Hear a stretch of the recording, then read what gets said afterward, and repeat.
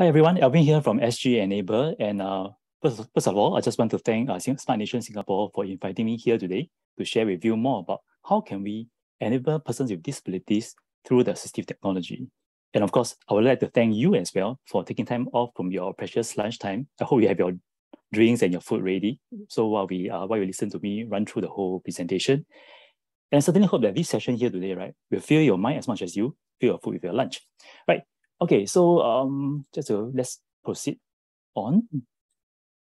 So what I'm going to cover during this session itself, right, is to, to learn about what are the different types of assistive technology that's available to support the employees with disabilities at work. And you may be surprised, but actually nowadays there are even more mainstream technology, right, that can actually assist person with disabilities. So we'll dive a little bit into that. And complementary to the use of assistive technology is about e-accessibility. And uh, by this, right, we will talk about the accessibility of the digital content such that employees with disabilities can actually uh, access the content.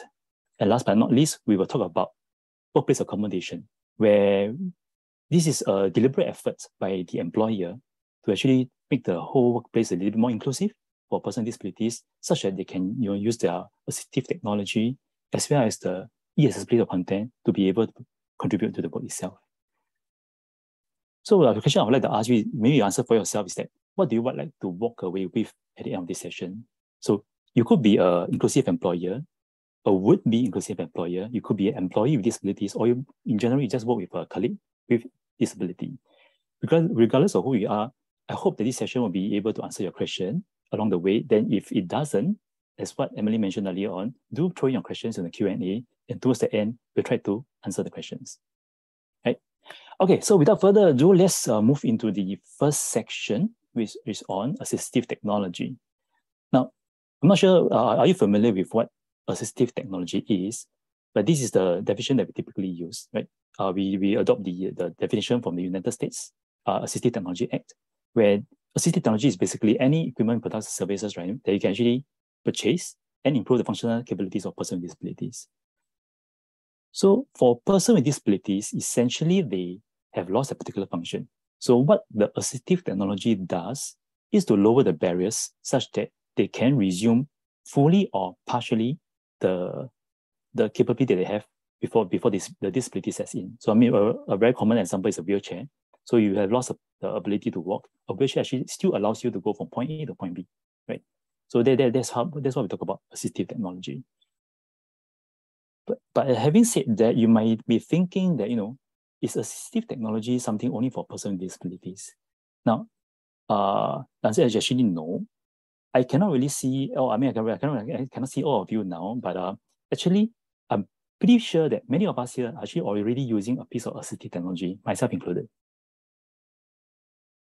Any clues? Right? Yeah. So actually, it's the glasses, right? So back in the 13th century, glasses is considered a piece of medical device I mean, you can't you think about it. If I were to remove my glasses now, right, to be frank, I probably cannot even focus much on the screen itself. So in that sense, I'm considered a person with low vision, with some sort with some sort of visual impairments. But yet today, we don't see the glasses as a kind of assistive technology. We see as a lifestyle product. We see as a necessity and for some, right? And even going forward, I mean, with the, the development of smart glasses, I mean, there are quite a number out there. Uh, I mean, you know, possibilities sort of endless. I mean, with the development of technology, right? There's no there's no saying no what kind of capabilities that actually the technology can actually uh provide for person disabilities. So just to just to give you a sensing of you know, how actually this technology can actually support. Let's have a short video, right? Oh yeah, so that's the takeaway. So there's that no assistive technology is enabler and we're all using it, not just person disabilities. So if there's anything you you leave this uh, session with, do remember that no assistive technology is for all. It benefits everyone. Right. So as mentioned, let's have a quick look on how the technology advances right, can actually support a person with visual impairment. I've always been really passionate about human vision and what it is to see the world and how it feels really complex, but actually the brain sort of pieces together so much to make our sense of sight that technology like augmented reality can really play a huge role in people who don't have much in the way of light sensing ability. Once you start to lose your sight, it really becomes difficult to differentiate between, say, a foreground object and a background one. They kind of blur together. We're making use of the sight that people still have, and it may just be the detection of light and movement or a small amount of shape detection. Mm. And so what we do is put that on the inside of a pair of glasses. This device is a large battery controller and processor, but the key thing is you've got these really simple controls, but the modes that we set were really what we're trying to investigate. So this is the simplest of all, so it just shows a depth map with a person or an object nearby is very, very bright. Then we can start to increase some of the details here by taking up one mode. So now the person now has a little bit of brighter outlines and there's a person revealed and some chairs behind in the background. We also looked at some stuff where we'd also apply some cartoonization for anything that was near enough in front. So now we have one face here. It's quite pixelated, but you know, it can give you a gist of uh, there's a person there. And then there's another one where we just look at pure contrast. So this gives you a whole bright display and to boost the contrast of objects. You can zoom in, magnify the image, you can pause it if you want. Because some people need to have that kind of ability to kind of pause an image and investigate a bit further. So it's really a huge range of stuff because blindness is such a diverse condition. It's really trying to suit the actual person's needs. Most of the people we work with. I'll just stop here in the interest of time. So as you can see, right, technology has developed to a point where you leverage on assist, uh, artificial intelligence you know, and all the various image processing kind of technology. There is actually potential to help the person with visual impairment in this case to really be able to see, right, in a, in a various sense. So, and this video in itself is slightly dated already. So, and actually there's the of development. I mean, even Apple has actually announced, a, a, a sorry, not Apple, I think it's Facebook. There's actually uh, uh, announced a collaboration with, I think, Oakley to come up with glasses. So going forward, a smart glass could be simply like what the glasses we see in, in, in I mean, that you are wearing now, right? And that is a tremendous uh, help for person visual impairment to be able to lower the barriers around them and be able to you know participate in the society, right? Of course, uh, when it comes to assistive technology, actually there, there is a huge wide spectrum that we're talking about here. So some of you might be more familiar, familiar with the specialized kind of uh, assistive technology. So I mean, wheelchair is one example that we talk about there. So on the left here, I mean, we have some of the examples like the refreshable, refreshable braille display that uh, actually, meant for support person with visual impairments, whether I think blind or below vision, to be able to uh, access the digital content. And uh, somewhere in the middle, you have something like a high contrast large font keyboard. Again, this meant for those with low vision. But uh, the, I mean, but you come and think of it, I mean, as you deteriorating, deteriorating eyesight, right? Actually, having this high contrast and large font keyboard actually actually quite beneficial. That's why most people who will see this keyboard I mean, share, share with me, right? And then um, all the way to the right, we have virtual reality devices, we have height adjustable furniture. These are actually mainstream technology, mainstream the products that if actually you put it in a certain context, right, it can actually benefit person with disabilities, right? So in today's context, right, there is a huge spectrum. And which device to use, right, really depends on the needs of the person with disability as well as the budget. So maybe just to give an example of uh, mainstream technology, right? I'm pretty sure all of us here have our smart devices. In fact, some of you might even be viewing this Zoom on your smartphone or your tablets.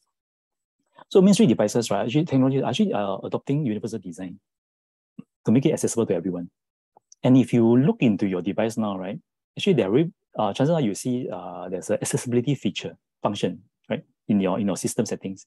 And if you scroll through the options in there, there are many, many inbuilt features, right, that is already supporting person with disabilities. I mean, if you ask a person with visual impairment or any person with disability for the matter, right, and ask them, what do you think about smart devices? They will, they will tell you that it, actually this is like the best thing that happens to them. Because with such mainstream devices, right, available to them at a, I would say, fairly affordable cost, they are actually low. It lowers the communication barrier, it lowers the transport barrier, it lowers you know, all the various barriers, right? That actually allows them to work, live, and play, just like the rest of the community, right? So I mean, just a good, uh, just I mean, the features below, just show a few example. I mean, you can use the tablet for communication, which in the case of the lady on the bottom left, you can use it to control the home appliances in the middle. And on the far right, you have a, a model who is an amputee as well. So with the 3D printed prosthetics, I mean, yeah, she can just perform anything else as, as per normal, right? So this is where all the mainstream technology actually comes in to make it, uh, to make assistive technology more affordable for persons with disabilities. And I would say that one of the key reasons for that is mainly because of the mobile platform. I mean, we're all, but by now I think everyone is very familiar with the idea of um, apps and mobile platforms and app stores, etc. You know, so with the smart devices, right? Actually, all these uh, these are all the various features that can actually very much uh, support a person with disability in uh, navigating their surroundings. And I mean, you don't need to take my word for it. I mean, cliche a bit, there's an app for that. So if you, if you come through the uh, app stores and the Play Store, you'll find tons of mobile apps, right, that can actually benefit person with disabilities, ranging from specially designed but paid, like the Proloquo2Go on the left, which helps person who are non-verbal, to a inbuilt feature uh, uh within the uh, app, uh, sorry, the phone itself, like left, Live Transcribe. Well, I, th- I think it's changed name to uh, sound notifications now. So um, on the Android phone, it, it comes inbuilt with the Android phone. You can actually use it to actually transcribe words. Like for example, what I'm speaking now, it become words. And of course, on the far right, you can uh, you can download apps. In this case, it's a free app actually from Microsoft or available on iOS.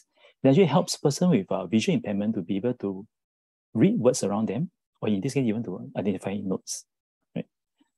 So you so uh, the beauty about the App Store, I mean the, the apps ecosystem is that there are many developers out there. Any one of them can actually develop an app. Anyone can just post it. I mean, of course, subscribe to the uh, the rules and regulation of the various stores and put it up there and distribute immediately to person with disabilities around the whole world. Anyone can benefit. So imagine the, the, the how how you can deliver impact just with an app itself, right? So I, I think that's really the beauty of the, the smart devices platform, right? That actually enables person disabilities. Of course, beyond the smart devices, I mean, there are also other, as I, as I mentioned earlier, about height, a height adjustable table.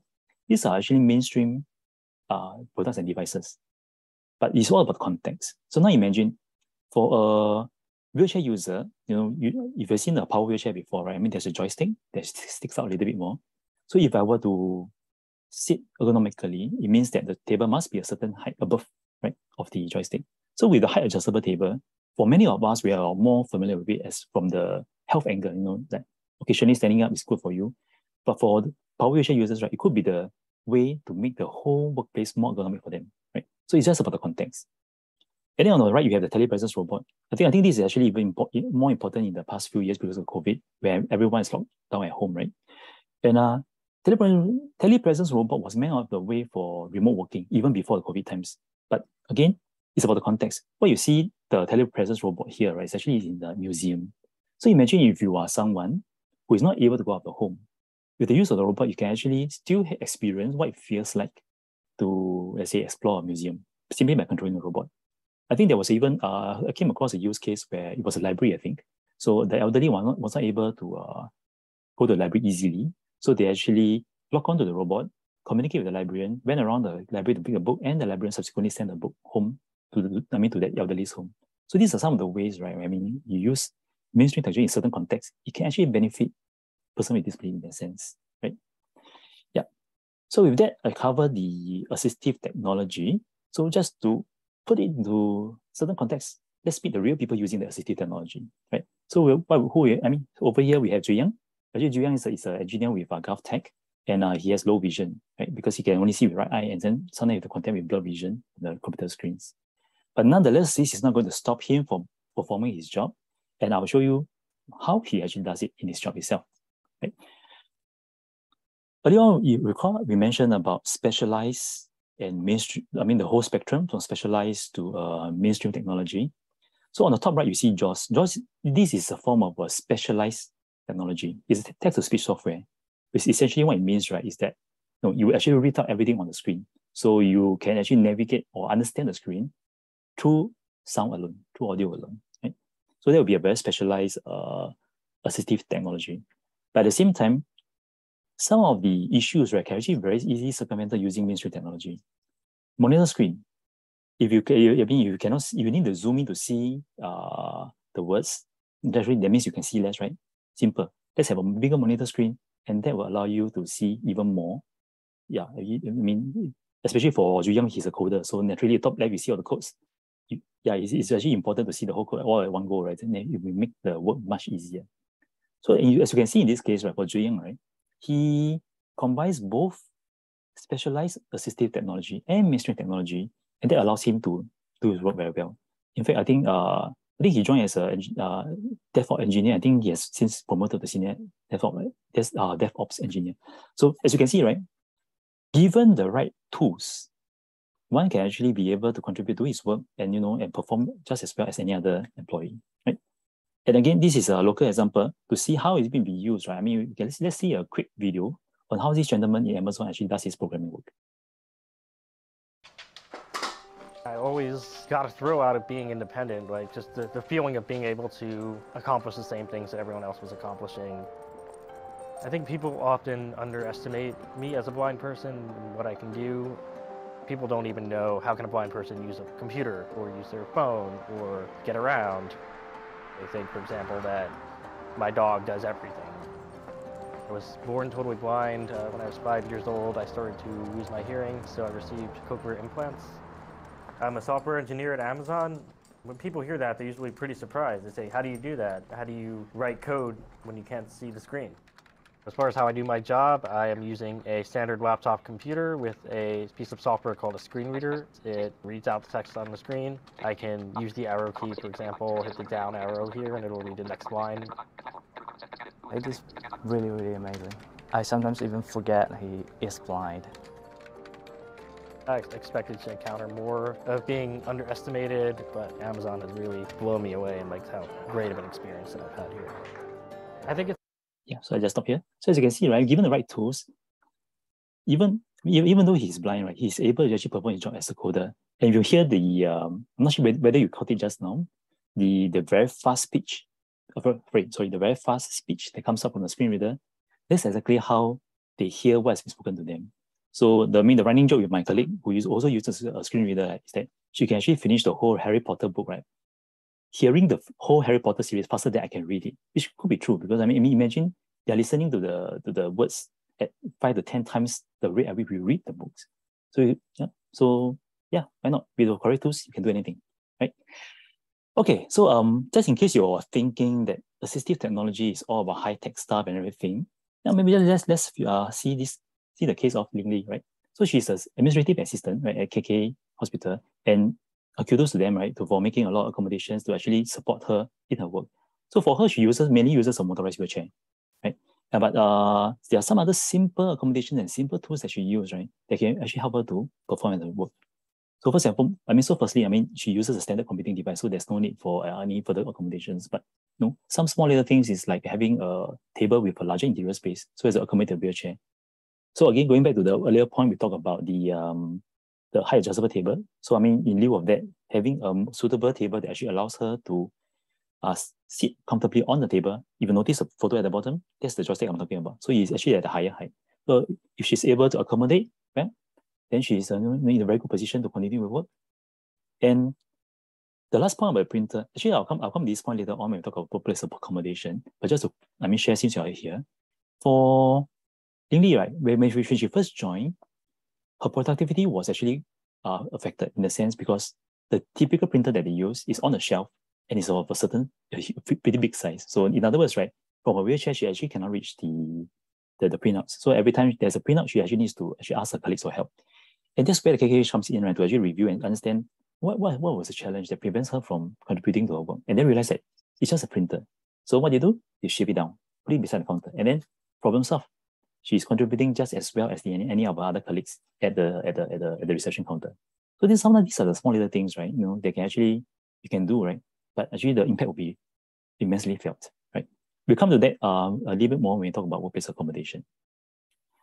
Okay, so that wraps up the assistive technology part of things. I know I'm going I'm going a little bit fast, so uh, please bear with me. Any any questions, right? Feel free to throw in the Q and A, and then I can we can address that later on, right? And also at the end of it, I'll be showing my uh, contact details. So yeah, feel free to email me anytime after that. Right? Okay, so let's uh, move on to the second section on e-accessibility. So earlier on, I talked about assistive technology, but even with the best assistive technology, right, you can't uh, reap the benefits of using it if the content that you're trying to access is not e-accessible. And this is where the e-accessibility comes in. So what do we mean by e-accessibility? Generally refer to the ease of use of information and communication technologies, right? Such, such as internet by person with disabilities. But of course, this is not limited to just internet. Your mobile apps, your um, digital kiosks, even down to the videos, I mean the, the video screen at the MRT stations, right? These are all considered digital content that we should strive to make it e-accessible. And there, and there are many benefits from doing so, right? But uh, just to give you a flavor of what is about. I mean, this is so these are the four categories of person of disabilities, right? That generally we try to support through our work here. So for sensory, we're referring to both those with uh, visual impairment as well as those with deaf and hard of hearing. And then our physical, intellectual, and autism. This I think should be fairly familiar to uh, all of us here. So now for every for every group, right, there are different e-accessibility considerations. But for some, but some of them are actually quite straightforward. You will actually will understand like for example, contrast. High contrast words naturally comes out easier. Everyone will be able, to see better. And for low vision, this is particularly important. Right? And captions, of course. So uh, for persons who are deaf, having captions allows them to continue with conversation. Like even when, as I'm talking now, right, if you turn on the CC option in the in the in the options, right, you actually get the closed captions. Okay, keyboard accessibility might be something new to you all in the sense that what is essentially means, right, is that can I access this digital content using only the keyboard? I mean, many of us have been using mouse for a very long time. We are very dependent on it. Now try, if you don't use a mouse, can you still access the content? If you can, then yes, that content is actually a very accessible piece of content. So that's what we mean by keyboard accessibility. And for intellectual, naturally, we're talking about simple language, something easier to understand. And uh, for autism, right, one of the issues is uh, uh, is more towards the sensory needs of a person with autism. So that's where we try to reduce the possibility of having any stimulus, right? Like for example, in this case, flashes and quick animation kind of thing, right? Or loud sounds, etc., bright colors. These are the stimulus that could potentially trigger meltdowns in uh, a person autism. So a good design will actually take care of all this to ensure that the look and feel is actually comfortable. So as you can see, I mean, if each of them have different different uh, needs. And just to put it a little bit into, uh, again, put into context, I'll, I will play this video here. It's actually published by the W3C Web Accessibility Initiative. Okay, it's a seven minute long video. I'm not playing everything here, but I would strongly recommend that if you want to see e-accessibility, e-accessibility in action, right, do check out this, uh, this uh, video. So I just run through the first one or two minutes of it. Web Accessibility Perspectives. Video captions. Video isn't just about pictures, it's also about sound. Without the audio, you'd have to guess what this film is about. Frustrating, isn't it? Not knowing what's going on. That's the situation for everyone who can't hear. Captions make videos accessible which is also handy for people who want to watch video in loud environments or where you need to be very, very quiet.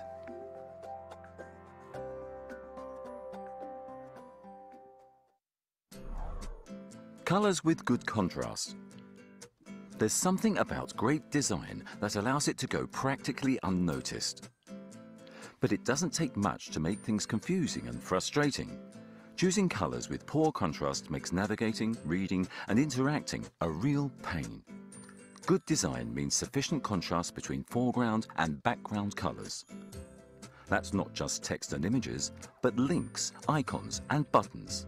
If it's important enough to be seen, then it needs to be clear. And this is essential for people with low contrast sensitivity, which becomes more common as we age. With good colours, websites and applications can be easier to use in more situations, like in different lighting conditions.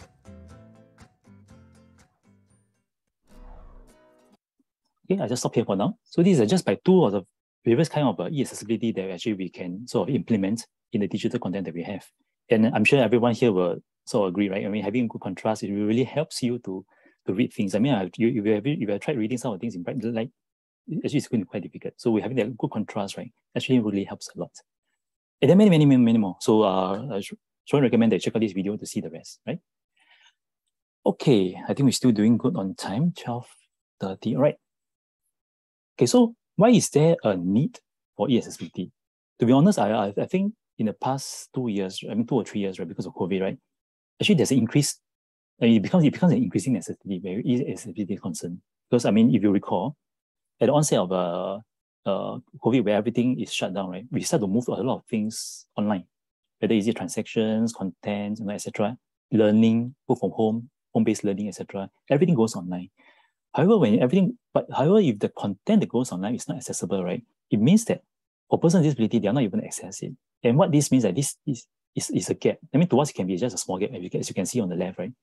It can be a small gap, but for persons with, for person with disabilities, it might, it must well be a huge chasm, right? That they need to jump over in order to be able to access the content. Hence, uh, we, in the last few years, I think we even see, as you see even more that I need to ensure that the content accessible so that we don't leave the person with disabilities behind. So even though I'm talking about, I mean, from the perspective of a person with disability here, right? For some of you who are employers in this group here, there is also, uh, a, a, I mean, there are also business cases as to why we should also push for e-accessibility. So firstly, I mean, having an e-accessible website, right, it means that you're actually extending your market reach. If you're, for some of you, if you're familiar with internet marketing, search engine optimization, etc., right, actually implementing e-accessibility, right, will actually, as a whole, make your digital content more accessible and more, uh, easy, I mean, easier to pick up by the search, the spiders and the search, engine, etc. So that will actually increase your traffic, right, and the overall experience.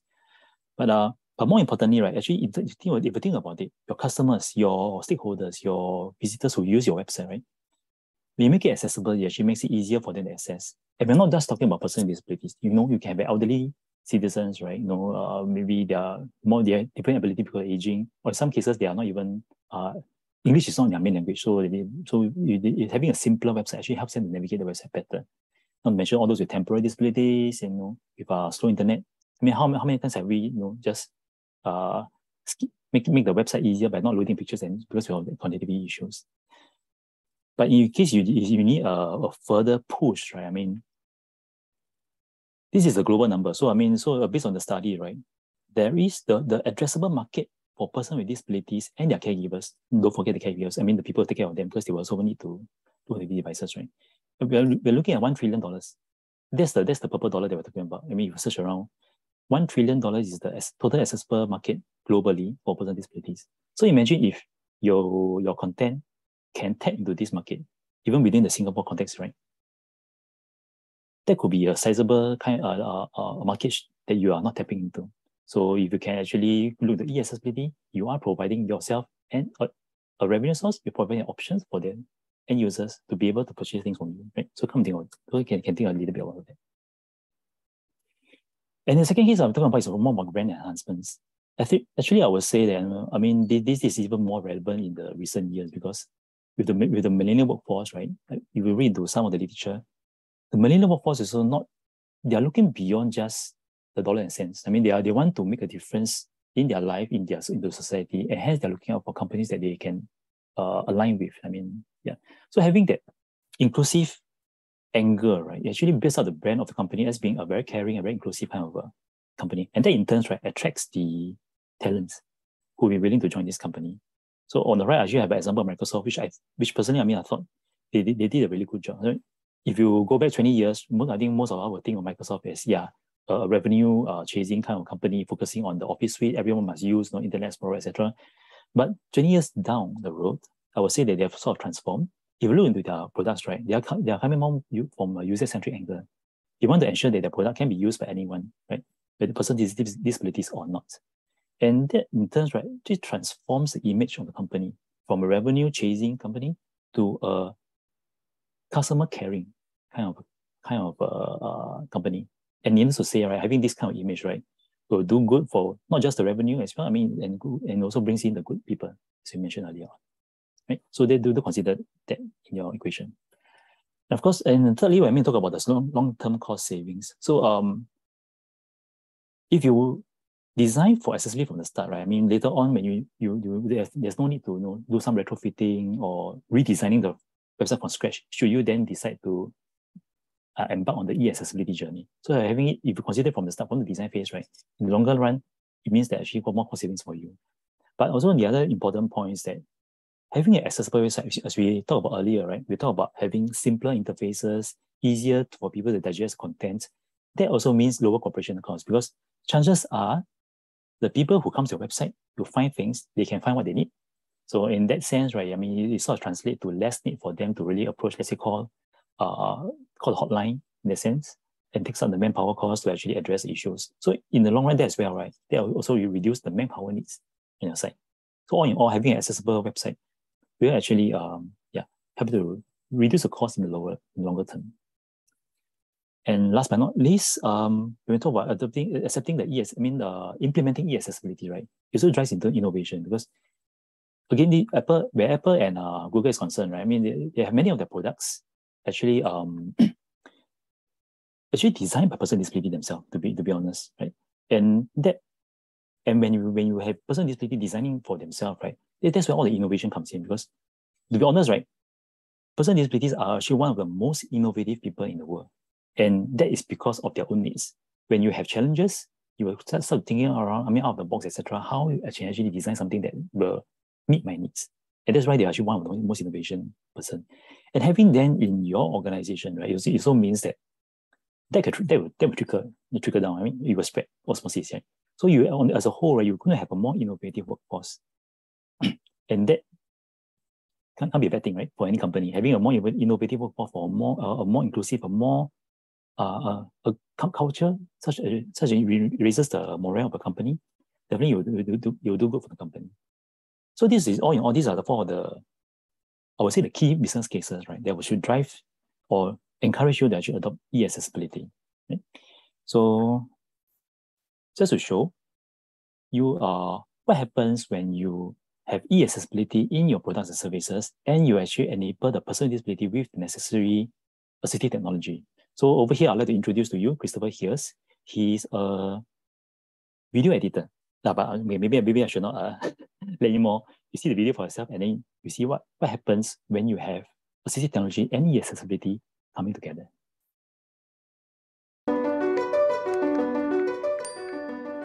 Oops, sorry.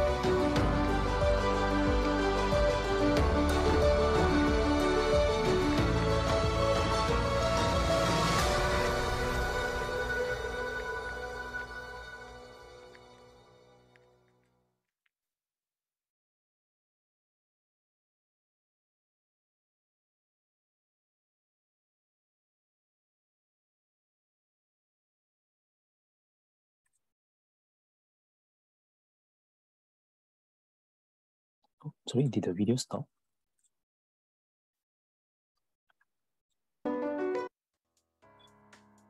Hi, I'm Christopher.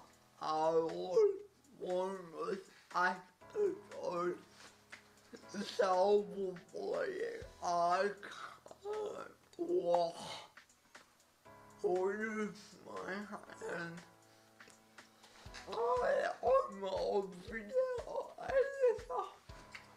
Running my own business.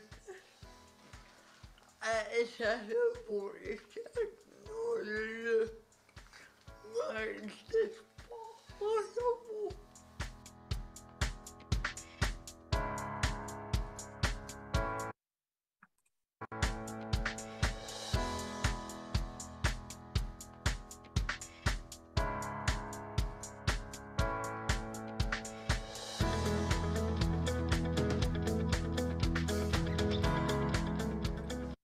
Okay, I'll just stop here. So yeah, so actually, actually Christopher here, I mean, this gentleman is, is incredible. I mean, we met him in person in Singapore before. And because in this case, again, not, not that saying you, but uh, in this case, right, because it, uh, the Apple ecosystem right, actually is quite well designed. So it allows him to actually use his devices and the e-accessibility features of the device itself, right, to actually allow him to do this. So actually, I noted there was, there was a Q&A question on uh, what are some of the products that actually Apple and Google has done, has created, right, to actually support person with disabilities. So actually, this is, I mean, this whole suite in itself, right, the, access, the inbuilt accessibility features underlying the operation systems of uh, Apple and Google, right, are the ones that uh, it will be one key development that actually enables person with disabilities. And you can see for yourself, right, with, in this case, what having that system, having the ecosystem allows him to you know, the, uh, carry on his video editing business without any issues. In fact, I mean, if you see the gentleman at the start of this video, actually that was his father. So actually he hires his father to help him to manage his business instead. So you can imagine you see, see how the how the thing turns around. So with the proper support, right, he can even run his own business. So that's that's the that's why I see the potential right in terms of technology to help person with disabilities. Right. Okay, so moving on, I will go to the last part of the, the, the key, the main context, talk about workplace accommodation. So we talk about assistive technology, we talk about uh, uh, e-accessibility. Now, for the person with disability to be able to leverage these two complement the components, right, to be able to contribute effectively to their work, is where the employer could come in. We talk about workplace accommodation to support them. And by that, right, I mean we mean having that talk, having that uh, check-in with the person with disability, right, to understand what they need, and then to subsequently to implement the uh, accommodation to support them. So again, going back to the earlier example I mentioned about Lingli at the KKH, in the case, no, just a matter of bringing down the printer to put it by the side in, and well, settle. I mean, that, that settles the issue of uh, her having to ask her colleagues to, for help to, to take down the printout. So sometimes it can be very simple accommodation. It doesn't even need to be rocket science. So, but so, but more importantly, really to have that conversation with the employee with disabilities and see how you know can uh, uh, support them in their work. Right? Okay, so um, I talked about e-accessibility, but maybe just to rewind a little bit, I mean, or rather go, go back a little bit, talk about accessibility in general. So in the workplace, right, when we talk about accessibility, it's really about uh, putting in measures to support the person's disabilities on an equal basis, right, to actually be able to do all the work they need to do. I just want to highlight the, the word here, equal basis here. So for many of the person with disabilities, right, what they need is just to be able to contribute on the equal basis. They're not asking for special rights. They, what they ask is that all the barriers are lowered such that they can just contribute as per anyone else. So again, going back to uh, my favorite example of Lingli, right? All she needs to do is to be able to print and take the print out by herself, which is something her colleagues can do. Uh, when originally when the printer was on the on the shelf. So by bringing it down, everyone can do it. So that in that sense, right, that's talking about accessibility. But of course, bringing down a printer is a very is a very uh, easy accommodation, and we don't. I mean, to be honest, we don't also expect you know, employers that have to try to cover every single needs of the person with disabilities right, in order to support them. And that's where we actually uh, are promoting re- reasonable accommodation rather than you know any than than all, all kind of accommodation because it means that you, know, you just put in necessary and appropriate modification. modification. So we, there shouldn't be a undue burden on the employer side right, to actually provide the accommodation. And this is so that going back to the earlier point, this is where having a conversation with the employee is important. So we need to both parties need to agree what is needed for the person to be to be uh, able to contribute to his or her work. And having that understanding, right, and implementing the, the measures, right, it leads to a win-win for both parties, where you have a talented staff who can actually contribute as well, and you can actually um, uh, address the needs of the person with disability, right? So when, so the workplace accommodations, right, is really about finding that balance because of the of the two parts. So for accommodation, right, we're talking about meeting the specific needs of the, of the user. So in this case, I talk about screen magnifier because only the person with low, low vision needs the screen magnifier. So that will be accommodation. But accessibility, right, if you think about it, right, it's meant to meet the common needs of all users. So in those cases, it not only benefits the person with disability, it can actually benefit everyone as well. Automated sliding doors, I'm sure everyone would like that, right? because also they save you the trouble of uh, using, having to open the door, close the door, etc. So having a good mix of accommodation and accessibility you will actually be able to provide that inclusive environment that both your employees with disability as well as your employees without disability can both thrive in a common environment. Yeah, so this is what I mean by the reasonable accommodation. And of course, there are even more benefits from that. And it actually benefits everyone. So uh, one, one of the easy um, accommodation from the process point of view that I actually usually recommend, right, is that you know, there can be a flexible arrangements. Because uh, for person disabilities, right, especially wheelchair users and uh, those with visual impairment, it can be difficult for them to you know, jostle with all the, uh, the, the, the peak hour crowds.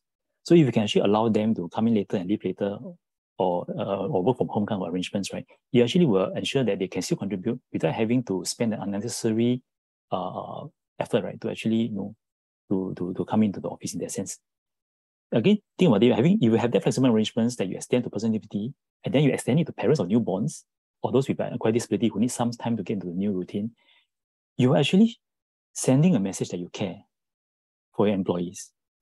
And that in turn, right, leads to a more uh, high morale within the, within the company itself, And definitely for those who are in HR here, right, I'm sure it helps in, in terms of the retention and you know, having that good uh, image of the company itself. So in this sense, it actually benefits everyone. And the second point, is talking, talking about enabling all employees to perform essential job functions. Later on, talk about equal rights, right? I mean, equal needs, equal basis. So by uh, providing uh, the workplace accommodation, right, you can ensure that all employees, you're not, you're not dis, uh, disadvantaging any one group over the other group in that sense. So you enable all to perform essential job functions. And the last point is actually what we what I covered a little bit earlier on in terms of business cases. Um, a stronger corporate image, as I say, right, me, you attract more talents. I mean, especially with, with, with the millennial, millennial workforce today, that is very, very important. Having the correct image to bring them in. Right? Okay, so uh, with this, right, these, so these, so these are the importance and why we should put in workplace accommodation for person with disabilities. Okay, so with this, right, uh, yeah, so for those who by now, for the, especially for the employers, right, by now, right, if you're, and also employees with disabilities who are keen to, you know, join the workforce, etc., if you're ready to, take next step, I just want to share uh, some of the uh, work that SG Enable does that actually we can support you. So for SG Enable, right, we said when we first started, the focus was very much on employment for persons with disabilities. Uh, but since we have since evolved to cover all things disability, but where employment is concerned, right, I mean, we are we are here, we are supporting the employers who are who are keen to employ persons with disabilities, and we are also supporting the employees. Uh, all the, starting all the way from their IHL days or their spec school days, right? Actually look into supporting them to, to transit them into the workforce. And of course, for those who are ready to take, to, to take the next step and know they're employed, we have grants, we have support, we have various kind of uh, uh, tools, right, to actually to support you in that hiring process. And of course, for those who have already done it, thank you very much, and we'd like to uh, recognize your efforts. And that's we have that's why we have enabling mark launched by President in 2020, and is to meant to uh, recognize or credit the uh, companies, right? They are inclusive. And in case you're ready to jump without waiting for me to complete this session, feel free to scan the QR code over there. It actually brings you to our the employment page on the Enable website, where you can actually see for yourself all the various tools and uh, resources that you can leverage on to be an inclusive employer. And, on, and this is not just for the employer side, employees as well, right? You can see for yourself what are the things that we can actually support you or what you can bring back to your employer to look into. For example, you employ, you might need a certain piece of assistive technology, which can be fairly expensive uh, but you you're hoping your company could purchase it for you, but they didn't know that actually there's an open door program, which is a grant that we administer right to support you. So in those cases, you can bring it back to the company and hopefully it works out for everyone. Okay, and uh, in if you'd like to understand more about inclusive employers, uh, actually this is where I'd like to share a piece of information with you. And I believe it's actually one of the questions asked in the Q&A about, um, let me see, local examples of local companies in terms of inclusive companies, right? So I, I think this is in the case uh, for this person who asked, uh, yeah, I think you might be interested to join this session, the Inclusive Business Forum coming on the 25th August, where we invited uh, DPM, Mr. Lawrence Wong, to be the guest of honor. And at this session, right, you will hear from him and you will hear from the other inclusive employers of their journey in terms of employing person with disabilities. And you can see the companies on the right over there. So if you're interested in um, you know, uh, disability inclusion, right, and how it actually supports in terms of your business resilience as well as your sustainable development for the future, right? I think this is the event to go to. Do look up for it. If you're interested, do go inside as well, right? And then and then you can find out more for yourself how others have done it and how you can do it in the future. Okay, so with that, uh, that's my that's my last content. Mainly, That's my main last content. So just want to finish up the presentation with a short video and when see all everything coming together, you have assistive technology, you have workplace accommodation, you have ESB all coming together. And this is how this actually enables this gentleman to be able to work at the Sharia court. Right? Enjoy. My name is Mohammad Firdaus bin Sarifi. I'm working currently in uh, Sharia court. I handle the counter, serving the clients, normal general inquiries, uh, doing of collections of documents and also applications. Lah. I actually didn't manage to get any um, jobs uh, for about six months due to my condition pro probably lah. After uh, getting to know that SG can uh, assist me in uh, uh, searching for jobs, I actually approached them lah. Uh, you know, finally I have something that I can work with and also even better a new experience because I have not done counter service before lah. Accommodation given to me are uh, assistive devices. For example, the uh, CCTV whereby it can magnify for me the documents that I'm reading. so it will be more efficient in my work and also the software so that I can um, zoom to a, a, certain area in my monitor that I want to read. It comes with a keyboard lah, whereby it's bigger and uh, faster for me to type as well. I would say my strengths would be being systematic and also a fast learner lah. So when somebody actually uh, tell me these are the processes, I will follow exactly the same and it's more efficient for the future. I would advise keep continue uh, trying to look for a job because there's always an opportunity uh, somewhere for us lah. I also would like to encourage employers to uh, give a chance to people with disabilities uh, who are eager and excited to fulfill uh, the needs of or requirements of the organization lah. Okay, so just let's stop here. My logo. yeah, so I just leave the the the boring part to the last lah. So I mean, uh, earlier on, I mean, I, I didn't share much about SG Enable. So just want to give a quick overview of what SG Enable is about. So basically, as I mentioned, right, we are a focal agency for disabilities. So the whole idea is that we want to have, enable persons with disabilities, right, to live, learn, and work and play in an inclusive society. So we are set up by MSF back in 2013, and we're a charity, we are IPC. And so should you have any questions regarding disability inclusion, come and find us. I mean, the website is there. You can easily search for us online we always be an email or call away. So I, I, I believe that based on the Q and A I see, I think you I should be talking to a few of you after this. So feel free to contact, right? And uh, just in case you are interested more on the technical part of things, we have the TechAble web app. Right? So uh, TechAble is actually a center for assistive technology based in the Enabling Village in Redhill area. So if you're interested in assistive technology, this is a place to go to. If you don't come down to the physical center, this is the online portion of it where you can actually find out more about the various kind of assistive technology devices that can help persons with disabilities. Right? And lastly, we have my contact details, right? So thank you very much. I hope this session has been very useful for you. I've covered assistive technology, I've covered e-accessibility, I've covered workplace accommodation. And I think this is just a start of a conversation with many of you over here. So do feel free to contact me, uh, um, email, etc. And we can actually have a, we always have a conversation on later on. In fact, I think, uh, don't mind if I just read some of the uh, Q&A as of now, because I think uh, I think there's someone from People's Association. You mentioned that you uh, like to talk on AT and can conduct in, in Chinese.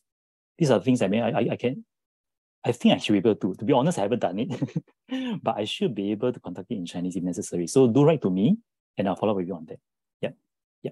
Okay, so, um, oh, sorry, I think uh, Leighton was asking about QR code.